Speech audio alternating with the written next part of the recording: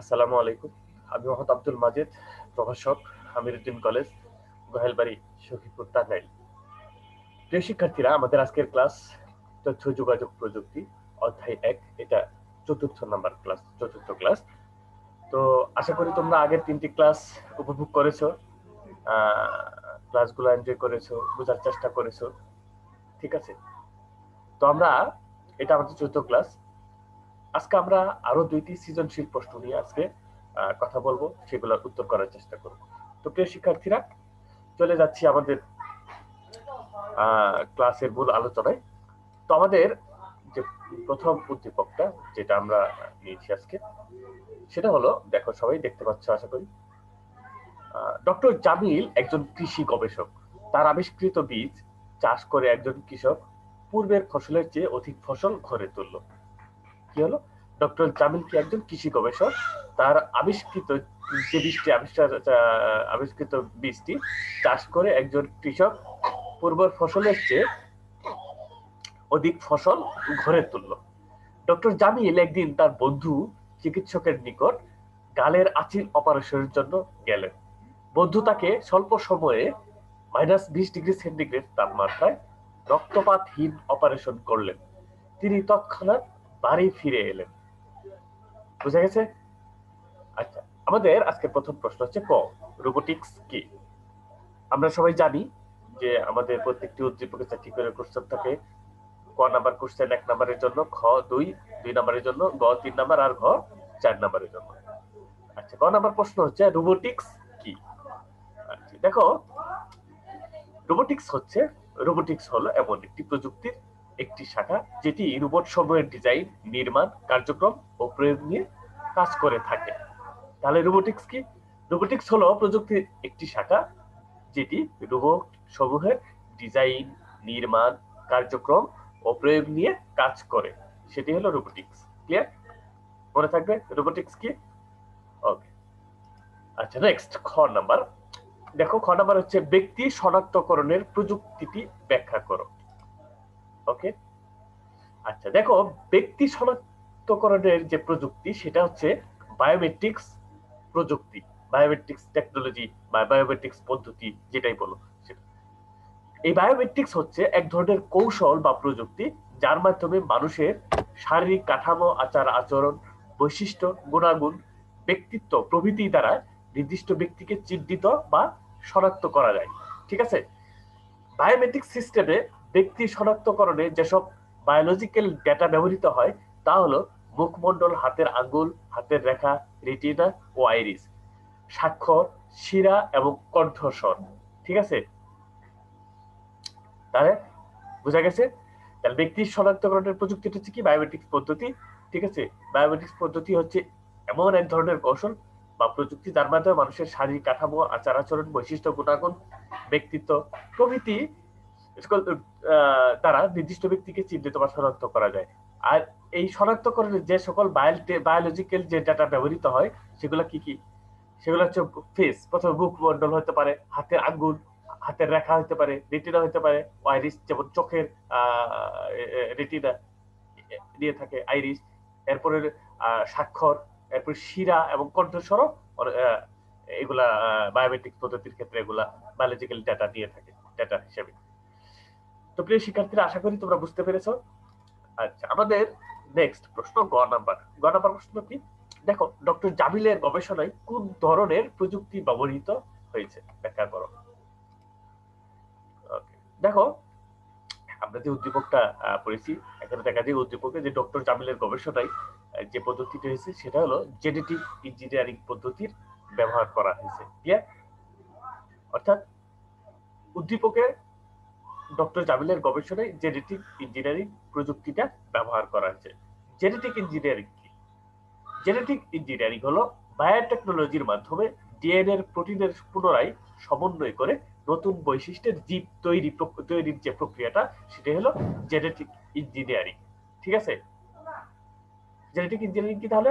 মনে থাকবে বায়োটেকনোলজির মাধ্যমে ডিএনএর প্রোটিনের পুনরায় সমন্বয় করে নতুন বৈশিষ্ট্যের জীব তৈরির প্রক্রিয়া। এটি জেনেটিক ইঞ্জিনিয়ারিং বর্তমানে ডিএনএ প্রযুক্তির কারণে কোনো বস্তুর অন্তর্গত জীবকে কোনো জীব কোষে প্রবেশ করিয়ে বা কোষ হতে সরিয়ে উক্ত জীবটির বৈশিষ্ট্যের বংশগতি বদলে নতুন উন্নত জাতের- জাতের বস্তু সৃষ্টি করা যায়। এমন যেমন হাইব্রিড এখন কিন্তু হাইব্রিড আমাদের যে খাদ্য শস্যগুলো আসতেছে, বিভিন্ন ফসল আদি আসছে এগুলো হাইব্রিড আকারে। অর্থাৎ এগুলো জীব জীব যে ওটা উন্মোচন করে, যে ডিএনএ যেটা আছে, সেটা উন্মোচন করে ওখানে নতুন একটা উন্নত জাতের বস্তু সৃষ্টি করা যায়। ঠিক আছে? আচ্ছা দেখো। এর ফলে এই যে এই যে এই যে কৃষিতে কৃষির ক্ষেত্রে যে, প্রত্যেকটা বীজের ক্ষেত্রে যে ডিএনএ বিশ্লেষণ করে, উন্মোচন করে যে নতুন নতুন আবিষ্কার হচ্ছে, এর ফলে কৃষিতে বিপ্লব সাধিত হয়েছে। নতুন উদ্ভিদ, খাদ্য সৃষ্টির ফলে পৃথিবীতে খাদ্য ঘাটতি সংকুচিত করা সম্ভব হয়েছে এবং অল্প খাদ্যে অধিক পুষ্টি গুণাগুণ পাওয়া সম্ভব হচ্ছে, ঠিক আছে? ফলে কৃষিক্ষেত্রে উন্নত ফলনশীল জাতের চারা উৎপাদন করা যাচ্ছে এবং একজন কৃষক সেই চারা চাষ করে পূর্বের তুলনায় অধিক ফসল ঘরে তুলতে পারছে। ক্লিয়ার ওকে তো আমাদের ঘ প্রশ্ন হচ্ছে ডক্টর জাবিলের বন্ধুর চিকিৎসা পদ্ধতির যৌক্তিকতা বিশ্লেষণ পূর্বক মতামত ক্লিয়ার ওকে দেখো, উদ্দীপকে ডক্টর জামিলের গালের আচিল অপারেশনের জন্য তার বন্ধুর ব্যবহৃত চিকিৎসা পদ্ধতিটা হচ্ছে কি জানো? ক্রায়ো সার্জারি মনে আছে? ক্রায়ো সার্জারি চিকিৎসা পদ্ধতি? তাহলে তাহলে যে ডক্টর জামিলের যে বন্ধু ডক্টর সরি ডক্টর জামিলের গালের আচিল অপারেশনের জন্য তার বন্ধুর ব্যবহৃত চিকিৎসা পদ্ধতিটা হচ্ছে ক্রায়ো সার্জারি ঠিক আছে? আচ্ছা ক্রায়ো সার্জারি হলো, আমি আবার বলে দিচ্ছি ক্রায়ো সার্জারি হলো এমন এক ধরনের চিকিৎসা পদ্ধতি যা অত্যধিক শীতল তাপমাত্রা প্রয়োগ করে ত্বকের অস্বাভাবিক এবং রোগাক্রান্ত টিস্যুগুলোকে ধ্বংস করা হয়। ক্রায়ো সার্জারিতে অস্বাভাবিক টিস্যু ধ্বংস করতে নাইট্রোজেন গ্যাস বা আর্গন গ্যাস হতে উৎপাদিত চরম ঠান্ডা বাহ্যিক ত্বকের চামড়ার চিকিৎসায় এটা ব্যবহার ব্যবহৃত হয়ে থাকে। ঠিক আছে? সাধারণত টিউমারের ক্ষেত্রে মাইনাস বিশ থেকে মাইনাস তিরিশ ডিগ্রি সেন্টিগ্রেড তাপমাত্রা ব্যবহার করা হয় আর ক্যান্সারের ক্ষেত্রে মাইনাস চল্লিশ থেকে মাইনাস পঞ্চাশ ডিগ্রি সেন্টিগ্রেড তাপমাত্রা ব্যবহার প্রয়োগ করা হয়। ঠিক আছে? ক্রায় সার্জারির ক্ষেত্রে সাধারণত পৃথক পৃথক ভাবে তরল নাইট্রোজেন, কার্বন ডাই অক্সাইডের তুষার আর্গন এবং সমন্বিত ভাবে ডাই মিথাইল ইথার ও প্রোপেনের মিশ্রণ ব্যবহার করা হয় যা ত্বকের জন্য খুবই সহায়ক। কাজে যে উদ্দীপক ডক্টর জামিলের গালের আশিল অপারেশনের জন্য তার বন্ধুর প্রায় সার্জারি চিকিৎসা পদ্ধতি যৌক্তিক বলে আমি মনে করি। ঠিক আছে? ওকে। প্রিয় শিক্ষার্থীরা আমরা আজকের প্রথম উদ্দীপক কথা বললাম আহ, প্রশ্নগুলোর উত্তর করার চেষ্টা করলাম। চলো আমরা দ্বিতীয় উদ্দীপকে চলে যাচ্ছি। দ্বিতীয় উদ্দীপকটা কি? দ্বিতীয় উদ্দীপকটি হচ্ছে ডক্টর মাকসুদ দেশের খাদ্য ঘাটতি পূরণের নিমিত্তে দীর্ঘদিন গবেষণা করে বন্যা ও খরা সহনশীল উন্নত জাতের ধান আবিষ্কার করেন। ঠিক আছে? তথ্যের যথাযথ ব্যবস্থা না নেওয়ার অন্য একজন তথ্যের যথাযথ ব্যবস্থা না নেওয়ায় অন্য একজন তার গবেষণালব্ধ ফল নিজের নামে পেটেন্ট দাবি করে। দেখো ডক্টর মাকসুদ কিন্তু সে খাদ্য ঘাটতি পূরণের নিমিত্তে দেশে আহ, দীর্ঘদিন গবেষণা করে বন্যা খরা সহনশীল উন্নত আবিষ্কার করেন। তার এই যে যে গবেষণা করছে, সে এই গবেষণা এটা তথ্য যেটা ই করছে, এটা উনি যথাযথ ব্যবস্থা না দেয় এই গবেষণাটাই অন্য একজন কি করছে? তার নামে প্যাটেন্ট দাবি করছে। আচ্ছা।